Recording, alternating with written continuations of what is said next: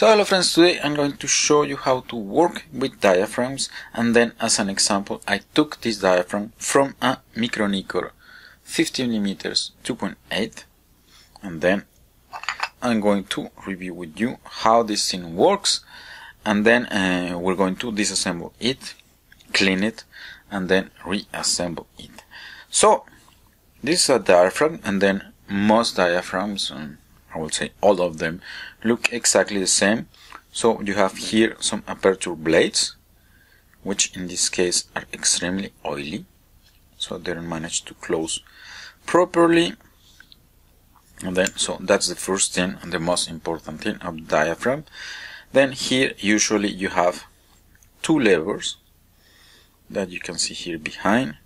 I still have part of the glass here and then usually I was telling you you have two levers. So you have this one which is the quick one that goes to the lever in your camera to do the quick opening and close closing of the diaphragm. When you're taking a photograph and then you have one which is the slow one. Let's let's the slow one let's call it like that. And then it is usually composed of a cam and then it will create a fixed aperture. And then usually this is the one well this one is not working really well because of the, all that oil. And then this one is the one that usually goes to the aperture ring on your manual lens. And then when you do this you're going to set the aperture of the diaphragm. So that's for the diaphragm. So rather simple thing. So the blades. You have two blades. So the fast one the slow one and then usually you have also a spring that we see here. And then is the one that makes well that ensures the return of the diaphragm once the photo has been taken.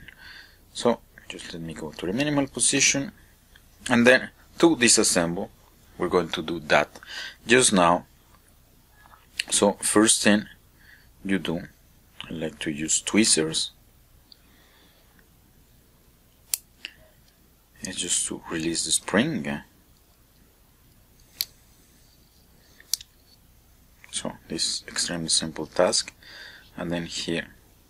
Now you can work it back and forth manually.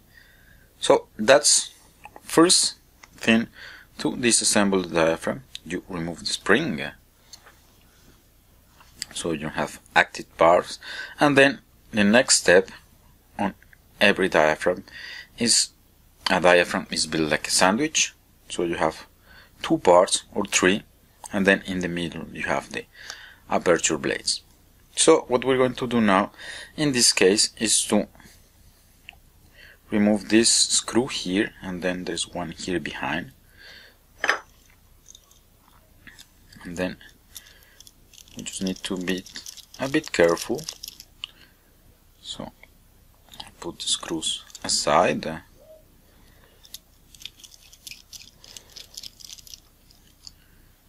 And then here we need to be careful because come out.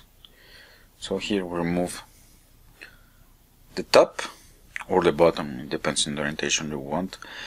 And then here we have the remainder of the glass. So we're going to put this thing aside somewhere safe. And then here this is what I explain what I was explaining to you before. So it, it is built like a sandwich. So we have the aperture blades. And then you have this part here which is connected to one of the levers we saw before that has these slots, slots here. Just let me take it with my hand you have these slots here and then these slots are going to just let me try to catch them again. Okay so you have it. So they're going to guide the blades. I don't have all of them. Okay not a big deal. You see through the motion here we're guiding the aperture blades to open and close. So we remove this part which is very oily. So I'm going to put it aside in this small cup.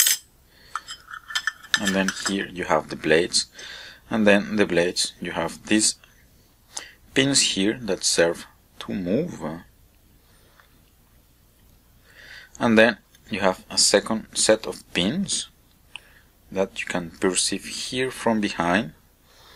And then these these ones here are pivot points that are going to fit into the third part of the sandwich which is in this case this big part. So we're going to remove the blades. Usually if there is no oil they will fall automatically but in this case the, the oil is holding everything really really really well. So okay. They all came out. I put it in this cup. That I just put the focus again and then here we have these elements of the diaphragm. And then what we're going to do now in our case is to clean it. So this is extremely simple. So what I'm going to do is to use some kind of solvent just to remove the oil. So just let me go a bit back. So I have this lighter fluid but then uh, the other kind of things you can use are yeah barbecue gas or gasoline. Yeah some solvent just to remove the oil. So here we go back.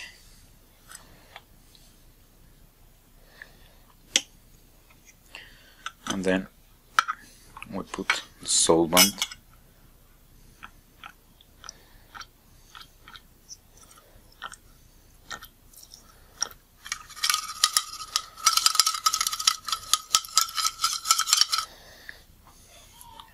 and then that's it.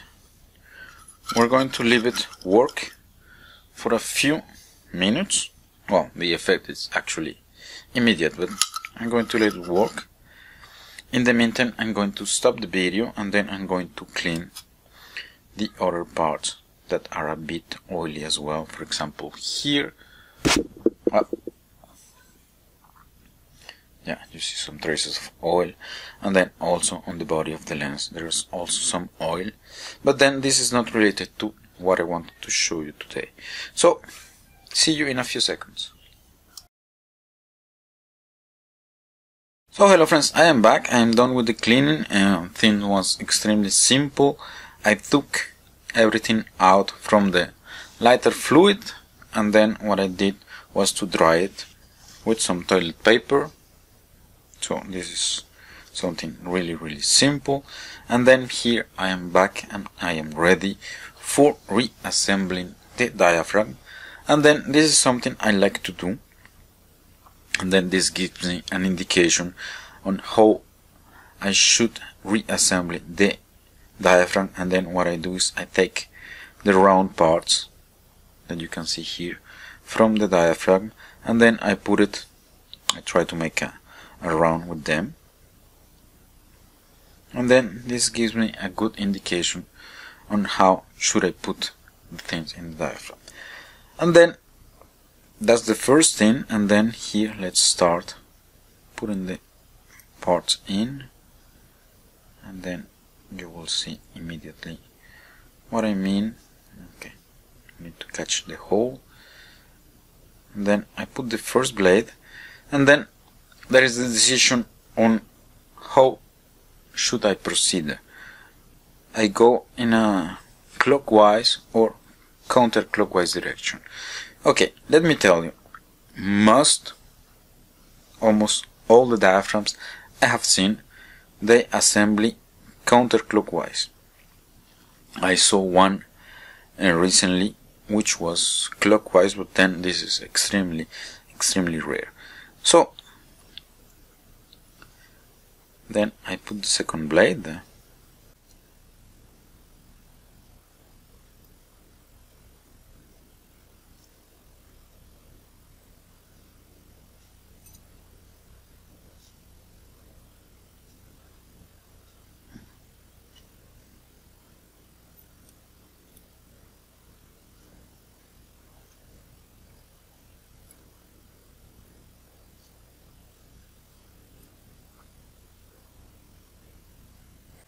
and then here we reach the tricky element which is the last blade which has to pass obviously above the previous one like in a counterclockwise assembly and then it has to go below the first one so everything works okay. So I'm going to do the easy part which is to put it above the rest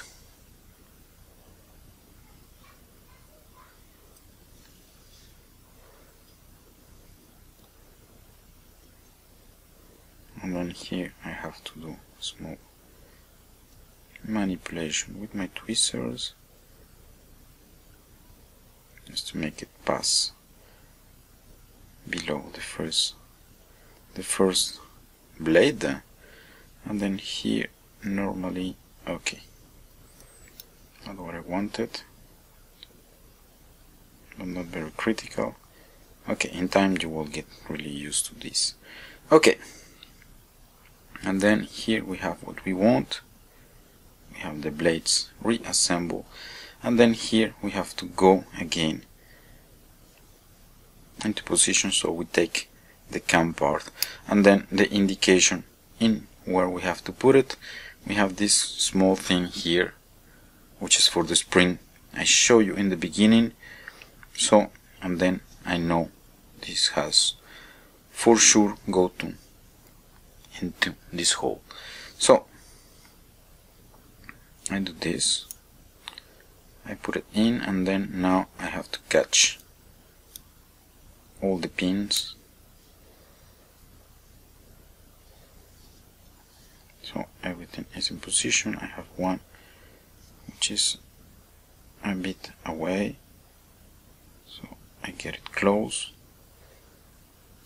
I try again and then here I have all of them which are in good position and then if I acted manually as you see here I am able to operate the diaphragm. And then here now we have the let's say tricky part which is to reassemble the diaphragm. And then here I take my part, the top of my sandwich. Just let me get this a bit closer. And then here I have this small lever and then I have this opening here. Okay. This opening here so this means this is the room for this lever. And then I have also the holes that I use that I discrew initially to gain access to the diaphragm so these two here which are slightly oval so I can do some setting on the diaphragm position. So I do this. I am able to see. So I can look for the position of the holes.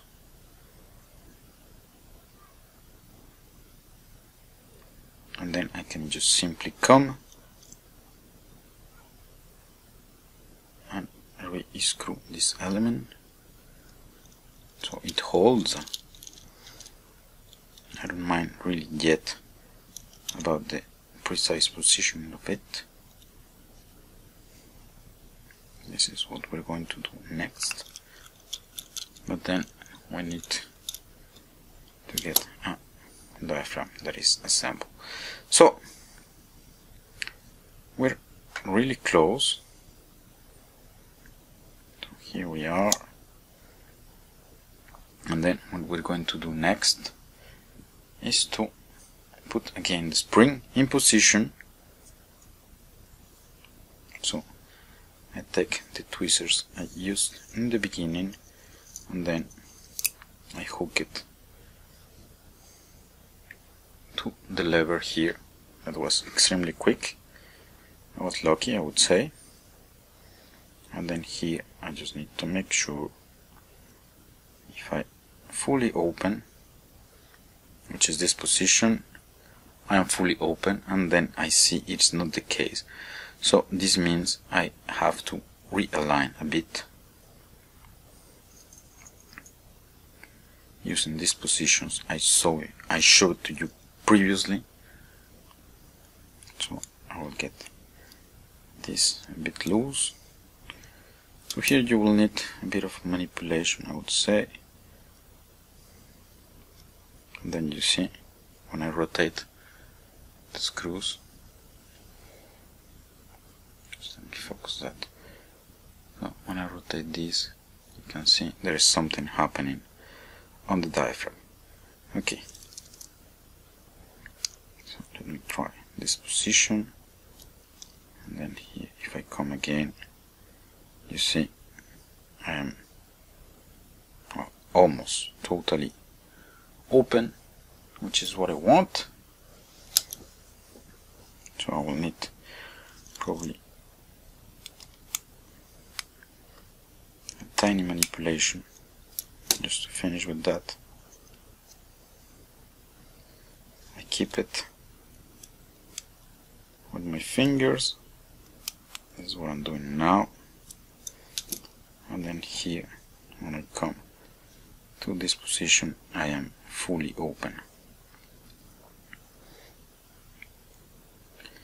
So and then here if I go back I can move my fast lever and then you see the diaphragm. Now it is working as it should. So and then this is all I wanted to show you today as you can see working with diaphragms if you're really careful it's extremely simple. And then what else I have to tell you? Go make your repairs and then enjoy your lenses.